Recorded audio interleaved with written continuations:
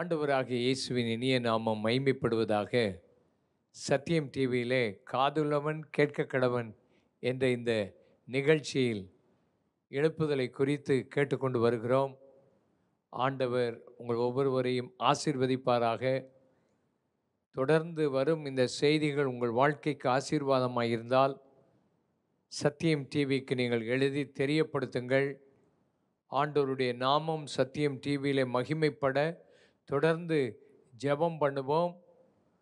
வருகிற எல்லா செய்திகளும் ஊழியர்கள் கொடுக்கிற ஒவ்வொரு காரியத்தையும் ஆண்டவர் உலகமெங்கிலும் பரப்பி லட்சக்கணக்கான மக்களுக்கு ஆசீர்வாதமாக வைத்திருக்கிறார்.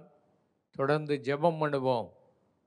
விசேஷமாக இன்றைக்கு ஆண்டவருடைய வார்த்தையை நாம் கேட்போம். மத்தியில் சுவிசேஷம் எட்டாம் அதிகாரம் ஐந்தாம் வசனத்திலிருந்து சில வார்த்தைகளை நாம் பார்ப்போம்.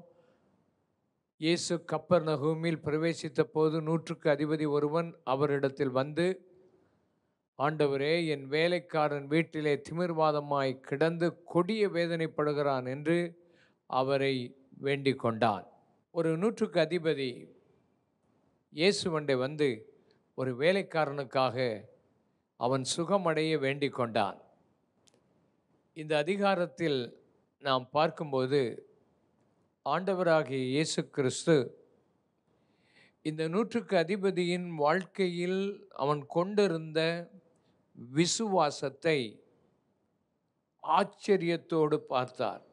ஆச்சரியப்பட்டார். இஸ்ரவேலருக்குள்ளும் இப்படிப்பட்ட விசுவாசத்தை நான் காணவில்லையே என்று அவர் சொல்லுகிறார். நம்முடைய வாழ்க்கையில் விசுவாசம் மிகவும் முக்கியமானது. ஒரு எழுப்புதல் நாம் பார்க்க போகிறோம். அதை நாம் விசுவாசிக்கிறோம். அந்த விசுவாச கண்களினாலே எழுப்புதலை பார்க்க வேண்டும். இப்பொழுது உலகமெங்கிலும் வித்தியாசமான சூழ்நிலைகள் நெருக்கங்கள் பயங்கள் போராட்டங்கள் பலவிதமான எதிர்மறையான காரியங்கள் நடந்து வந்தாலும் நம்முடைய ஆண்டவர் தம்முடைய ஆவியை அளவில்லாமல் ஊற்றுவார். நம்முடைய ஆண்டவர் தம்முடைய வசனத்தை மழையைப் போல பொழிந்தருளுவார். ஆண்டவருடைய முன்மாறியும் பின்மாறியும் ஏராளமாய் பெய்ய ஆரம்பிக்கும். தேசங்கள் மறுரூபமாகும். தேசத்தின் ஊழியங்கள் ஆசிர்வதிக்கப்படும். சபைகளை ஆண்டவர் உத்தமமான சபைகளாக மாற்றி உத்தம ஊழியர்களை ஆண்டவர் கொண்டு வருவார் என்பதில் சந்தேகமில்லை. ஆண்டவருடைய திருநாமம் மைமைப்படுவதாக இந்த நூற்றுக்கு அதிபதியின் வாழ்க்கையில் அவன் கொண்டிருந்த விசுவாசம் அவனுடைய வாழ்க்கை படிக்கும்போது அவனுக்குள் இருந்த விசுவாசம் எப்படி அவனுக்குள்ளே வளர்ந்தது? மார்க்கின் சுவிசேஷம் ஆறாம் அதிகாரம் ஆறாம் வசனம். அவர் தன்னுடைய சொந்த ஊருக்கு அவர் ஊழியத்துக்கு போனபோது அவருடைய அவிசுவாசத்தை குறித்து ஆச்சரியப்பட்டு கிராமங்களிலே சுற்றித் திறந்து உபதேசம் பண்ணினார். அந்த இடத்திலே அவர் ஒரு அற்புதத்தையும் செய்ய முடியவில்லை. சில வியாதியசில் மேலே கைகளை வைத்து சுகமாக்கினாரே தவிர அவரால் ஒன்றும் செய்ய முடியலை. காரணம் அவிசுவாசம். ஆண்டவர் மேலே சார்ந்திருப்பதும் அவரையே நம்பியிருப்பதுமாகிய அந்த விசுவாசம் எங்கே இல்லையோ அங்கே ஆண்டவராலே கிரியை செய்ய முடியாத சூழ்நிலையை பார்க்கிறோம். எழுப்புதல் வரும் எழுப்புதல் நிச்சயம் வரும். சில ஆட்கள் சொல்லுவார்கள் எங்கே வருது? எத்தனை வருஷமாக ஜெபம் பண்ணுறோம் எத்தனை வருஷமாக கூப்பிடுகிறோம்? ஒரு மாறுதலும் இல்லையே. இயேசுவின் வருகையை பற்றியும் அப்படித்தான் ஜனங்கள் சொல்லுகிறார்கள். வருவார் என்று சொன்ன வாக்குத்தத்தம் எங்கே? எருசலேமிலே ஊற்றப்பட்ட அந்த தேவ ஆவியானவர் ஒவ்வொரு தேசங்களிலும் ஊற்றப்பட்டு கொண்டே வருகிறார். மறுபடியும் எருசலேமுக்கு அந்த ஆவியானவர் ஊற்றப்படுவார். அவர் அங்கே போவார். அவர் ஏற்ற காலங்களில் ஒவ்வொரு தேசங்களிலும் தம்முடைய மகிமையை வெளிப்படுத்தி கொண்டே வருகிறார். ஆகையினாலே நாம் நம்முடைய வாழ்க்கையில் அவிசுவாசத்தை அப்புறப்படுத்தி விசுவாசத்தோடு ஆண்டவரை நோக்கி பார்க்கும்போது ஆண்டவர் நிச்சயம் ஆசீர்வதிப்பார். இந்த நூற்றுக்கு அதிபதியின் வாழ்க்கையில் அவனை பார்த்து ஆண்டவர் சொல்றார் நான் உன் வீட்டுக்கு வருகிறேன். இயேசு கிறிஸ்து ஒரு வீட்டுக்கு வருகிறார் என்றால் அது எவ்வளவு பெரிய ஆசீர்வாதம். அது எவ்வளவு பெரிய மகிமை. தேவாதி தேவன் சர்வ வல்லமையுள்ள தேவன். அவன் சொல்கிறான் ஆண்டவரே நீர் என் வீட்டுக்கு வர நான் பாத்திரன் அல்ல. எனக்கு தகுதி இல்லை.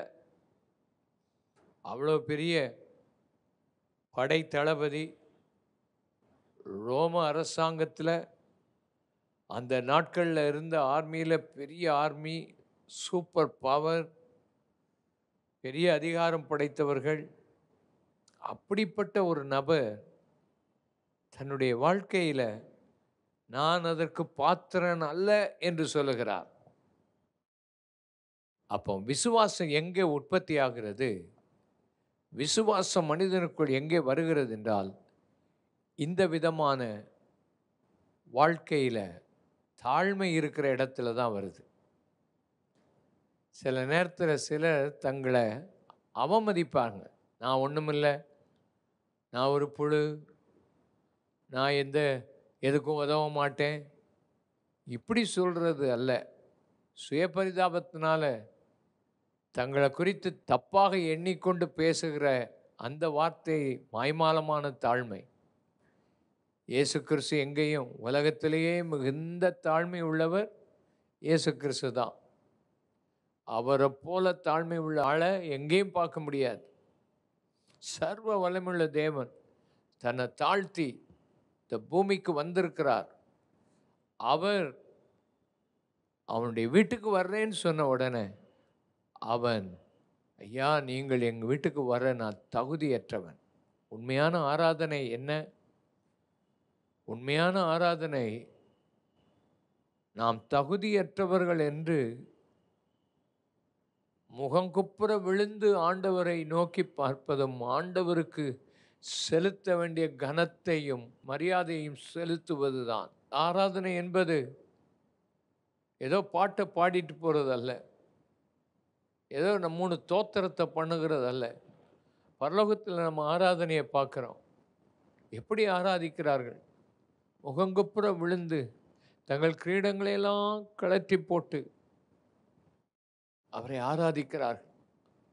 ஆபிரகாம் அவரை எப்படி ஆராதித்தான்? முகங்குப்புற விழுந்து ஆண்டவரே என்று சொல்லி ஆராதிக்கிறான். மோசே அவருக்கு முன்பாக முகங்குப்புற விழுகிறான். யோபு எப்படி கத்தரை ஆராதிக்கிறான்?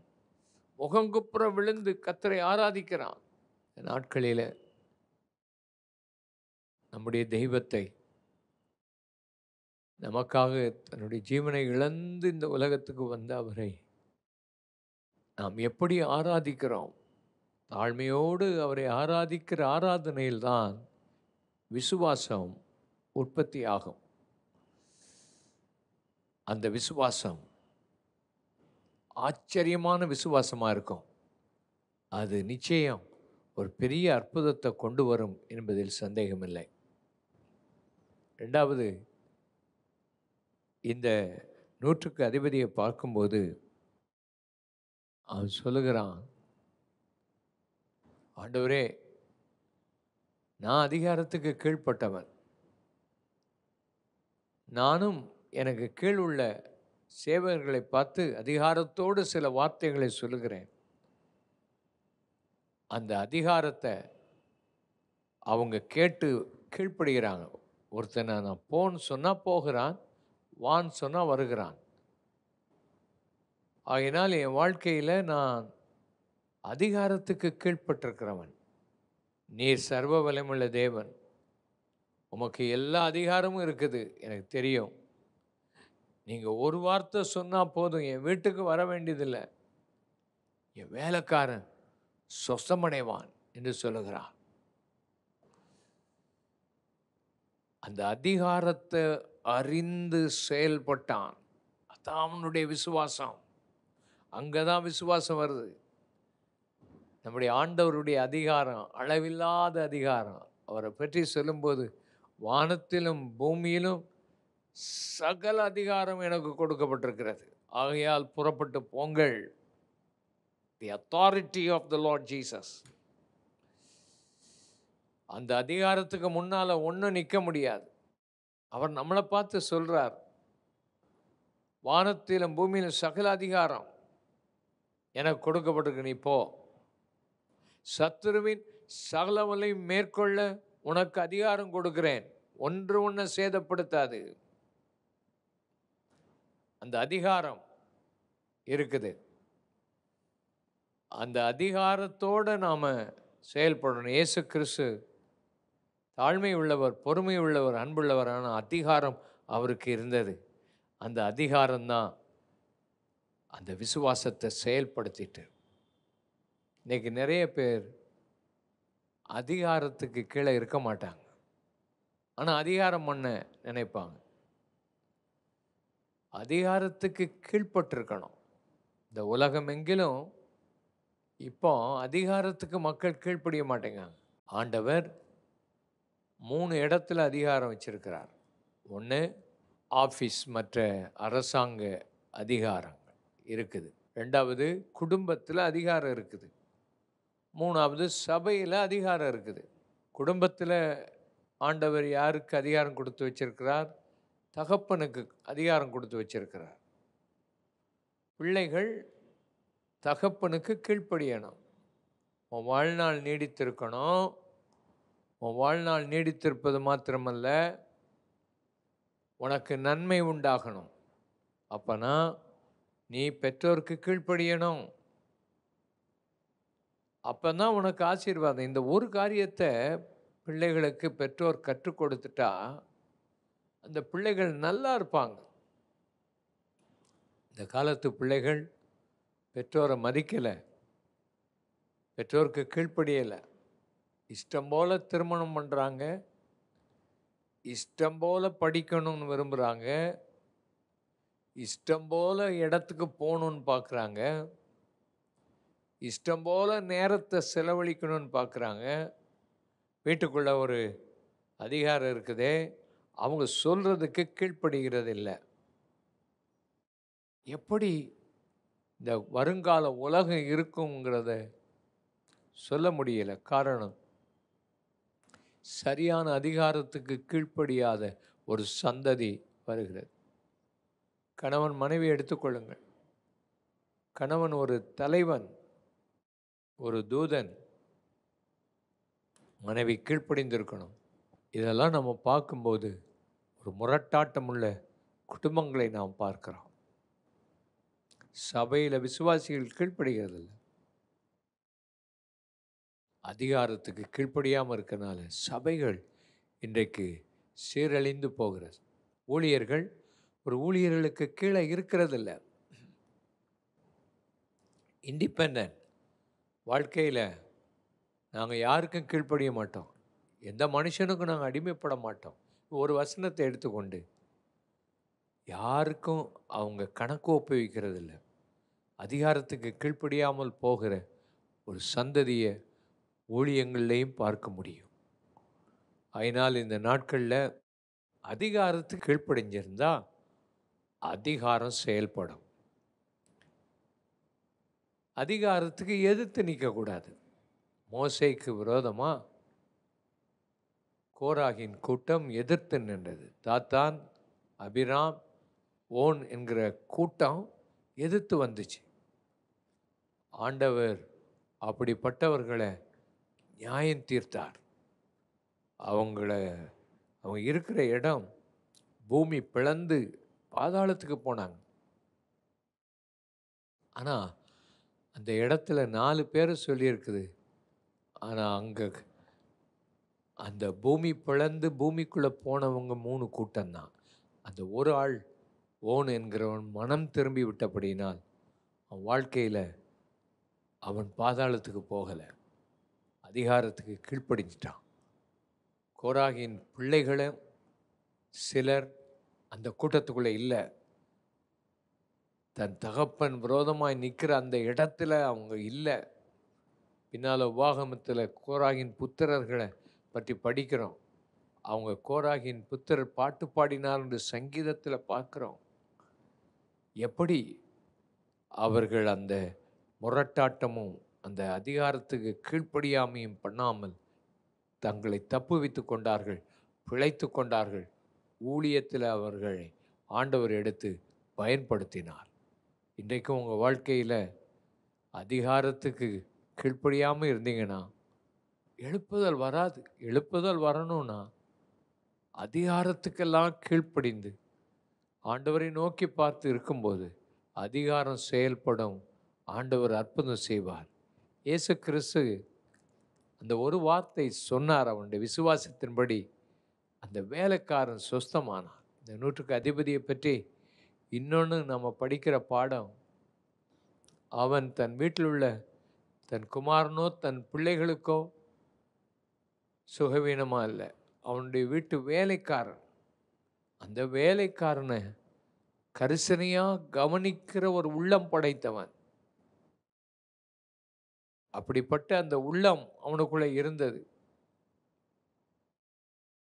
பெரியவங்க படித்தவங்க பணக்காரங்க அல்லாவிட்டால் தங்களுக்கு உதவி செய்தவங்க இப்படி நினைக்காதபடி தன் வீட்டில் இருந்த ஒரு ஏழ்மையான வேலைக்காரனை அவனுக்கு சுகவீனம் வந்தபோது இயேசுவை நோக்கி ஆட்களை அனுப்பி அவன் சுகமடையணுங்கிற ஒரு எண்ணம் உடையவனாக இருந்தான் அந்த மாதிரி எண்ணம் இருக்கணும். இன்றைக்கு இந்த இடத்துல பார்வையற்ற மக்கள் வந்தாங்க. எங்கள் வீட்டில் மூணாவது மாடியில் நின்று கொண்டிருந்தேன்.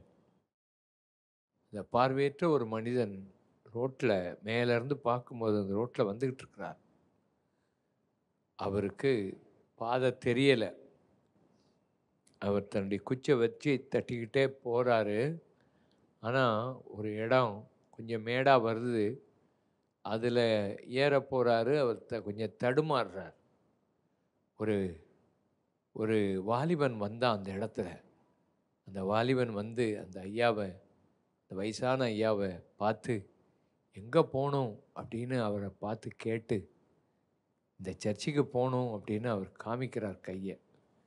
அவன் அழகாக அவரை கூட்டிகிட்டு வந்து இந்த சர்ச்சுக்குள்ளே விட்டுட்டு திரும்ப அவன் போகும்போது ரோட்டில் ஏதோ ஒரு கல் ஏதோ ஒரு ஒரு ஆணியோ ஏதோ கிடக்குது. அதையெல்லாம் எடுத்துட்டு இன்னொரு இடத்துல தூக்கி போட்டுட்டு போகிறான் அங்கே எத்தனையோ பேர் இருந்தாங்க.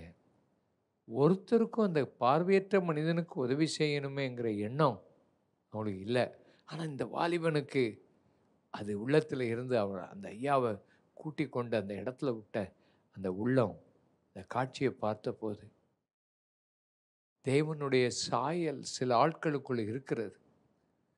இன்றைக்கும் ஆண்டவர் உங்களுடைய வேண்டுதலை கேட்கணும் எடுப்பதில் வரணும்னா இப்படிப்பட்ட ஏழை எளிய மக்கள் தாழ்மையுள்ள மக்களுக்கு உதவி செய்யக்கூடிய எண்ணத்தை கத்தர் கட்டளையிடும்பொழுது தான் விசுவாசம் வருகிறது. விசுவாசம் இல்லாமல் தேவனுக்கு பிரியமாக இருப்பது கூடாத காரியம். அவர் உண்டென்றும் அவரிடத்தில் சேருகிறவர்களுக்கு அவர் பலன் அளிக்கிறவர் என்பதையும் விசுவாசிக்க வேண்டும் என்ற வார்த்தையை நாம் கேட்குறோம். அப்பந்தான் விசுவாசம். விசுவாச பட்டியலில் நிறைய பேர் சொல்லப்பட்டிருக்கிறது. விசுவாசத்தினால தான் இந்த உலகமே உண்டாயிற்று. உலகம் எப்படி உண்டாயிற்றுன்னு ஆட்கள்கிட்ட கேட்டால் ஒரு பெரிய சத்தம் உண்டாயிற்று அதெல்லாம் வெடித்து பரவிச்சு அப்படி அப்படியே வளர்ந்து வந்துச்சு என்று சொல்லி அவங்க சொல்கிறத பார்க்குறோம். அப்படி அல்ல. விசுவாசத்தினால தேவனுடைய வார்த்தையினால தான் உலகமே உண்டாயிற்று. அதை விசுவாசிக்கணும்.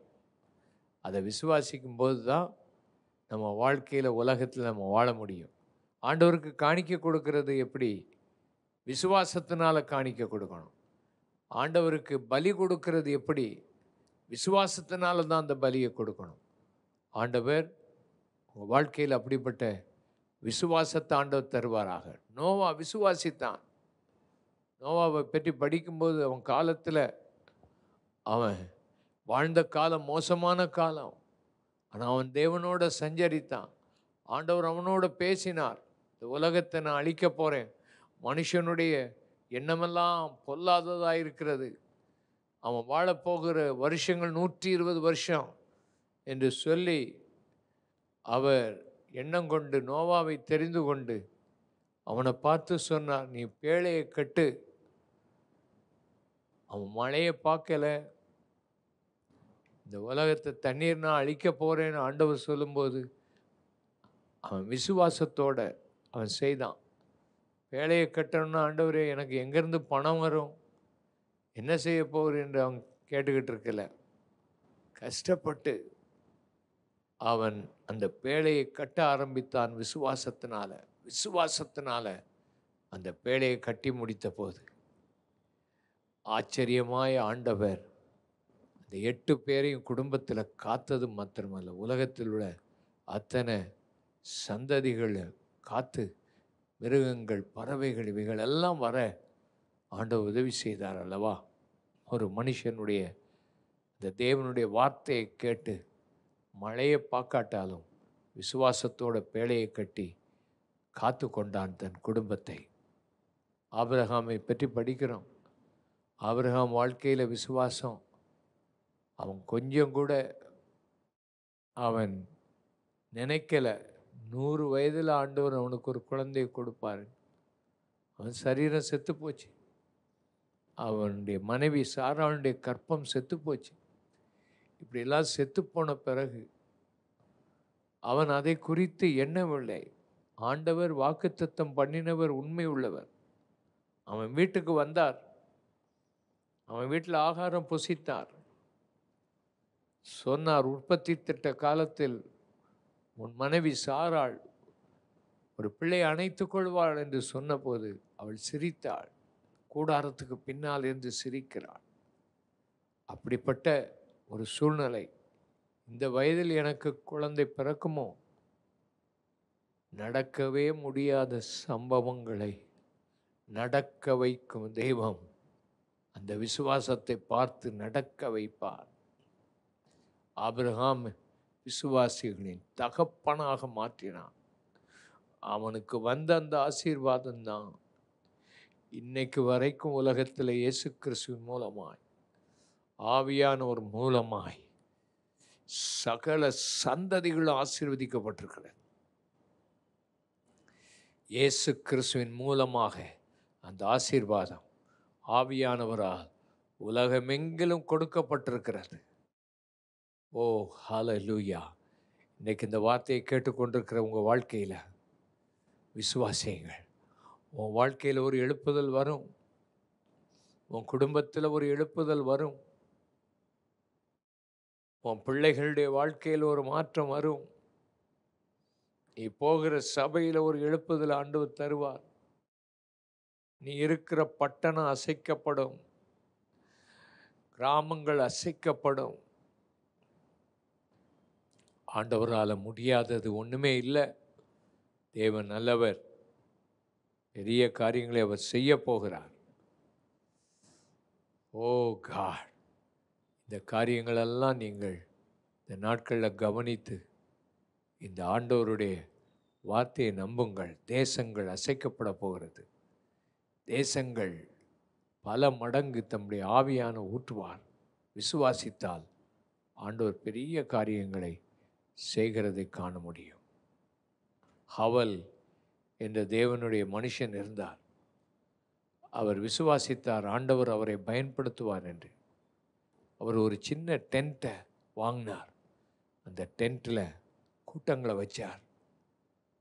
கொஞ்சம் கொஞ்சமாக ஆத்துமாக்கள் வந்தார்கள். அந்த கூட்டத்தில் நிறைய பேர் மொத்த மொத்தமாக ஆசீர்வதிக்கப்பட்டார்கள். விசுவாசித்து செய்தார்.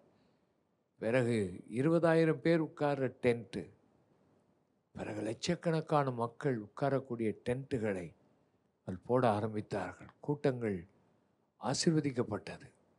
அருமையானவர்களே விசுவாசத்தோடு நீங்கள் செய்யுங்க. சாதாரண ஒரு மனுஷனை இந்த வாரம் சந்தித்தேன் ஆபிரகாம். அவர் சொல்கிறார் ஐயா ஆண்டவர் சொன்னார்னு. நான் இந்தியாவில் ஒரு டென்ட்டை வாங்கினேன். கூட்டத்தை போட்டேன். ரெண்டாயிரம் நாற்காலி வாங்கியிருக்கேன். கூட்டத்தை போட்டுக்கிட்டு இருக்கிறேன். எல்லா ட்ரக்லேயும் போய் பல இடங்களில் கூட்டம் போடுறோம். ஓடும்போது நூற்றுக்கணக்கான மக்கள் சுகம் பெறுறாங்க அந்த கூட்டத்துக்கு எதிர்த்து வருகிற மக்களெல்லாம் பார்த்துட்டு அவங்களே ஆண்டவர் செய்கிறத கண்டு மனம் திரும்புகிறாங்க நான் ஒரு நல்ல வேலையில் இருந்தேன். என் ஒய்ஃப் ஒரு நல்ல வேலையில் இருந்தான் எல்லாத்தையும் விட்டுட்டு குடும்பமாக நாங்கள் ஒவ்வொரு இடமா போய் விசுவாசத்தோட ஊழியம் செய்கிறோம். கத்தர் எங்கள் மூலமாக பெரிய காரியங்களை செய்கிறார். ஆண்டவர் சாதாரணமாக இருக்கிற மக்களை எடுத்து பயன்படுத்தி தம்முடைய நாமத்தை மகிமைப்படுத்துவாங்க உங்கள் வாழ்க்கையில் நீங்கள் விசுவாசித்தால் தேவனுடைய மகிமையை பார்ப்பீர்கள். கண்களை மூடி ஜெபிப்போம். பரிசுத்த பிதாவே இந்த ராத்திரி உடைய பிள்ளைகளை ஆசீர்வதியும். உடைய பிள்ளைகளுக்கு வேண்டிய கிருபையை கொடும். ஆண்டவர் எப்படியாயும் நாங்கள் எழுப்புதலை பார்த்து விட உதவி செய்யும். தேவ ஆவியானவரே உங்கள் நாமத்தை மகிமைப்படுத்துங்க. அதிசயங்களை செய்யுங்க. அற்புதங்கள் நடக்கட்டும். சீக்கிரமாயும் உடைய எழுப்புதலை எங்கள் தேசம் காணட்டும். ஜெபத்துக்கு பதில் உண்டாகட்டும். கிருபை தாரும். இயேசுவின் நாமத்தில் பிதாவே. ஆமேன். ஆமேன்.